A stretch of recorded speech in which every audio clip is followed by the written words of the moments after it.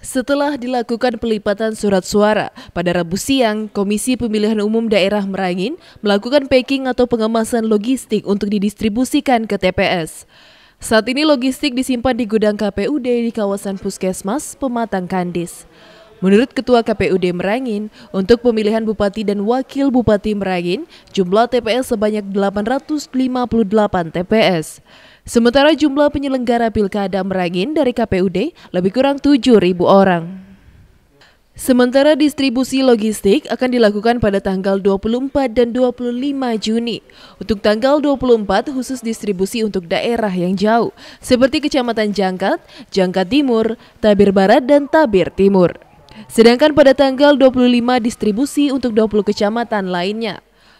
Menurut Iron, distribusi dilakukan lebih awal karena mengantisipasi hal yang tidak diinginkan, seperti hujan di jalan dan sulitnya medan. Nah, logistik itu hari ini ya, itu sudah masuk dalam proses packing ya.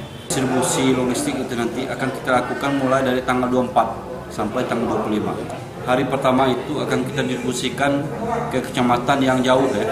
Nah, seperti misalnya Jangkat Timur, Jangkat. Lut Hidayat, Jambi TV.